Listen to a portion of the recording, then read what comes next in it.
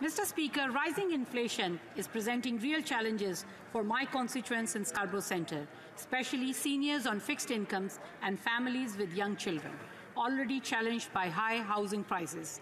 The rising cost of groceries and other daily necessities is making it harder for families to put healthy and nutritious food on the table for their children. Could the Associate Minister of Finance please tell us what the government is doing to help these families having to make difficult choices between healthy food and paying rent?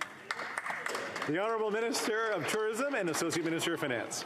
Thank you very much, Mr. Speaker, and I want to thank my honourable colleague from Scarborough Centre for her exceptional work on this file.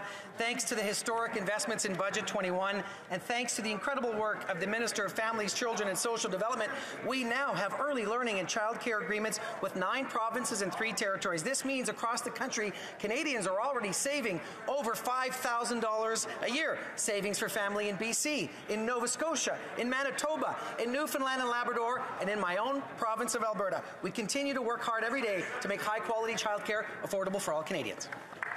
The Honourable Member for Sherwood Park, Fort Saskatchewan.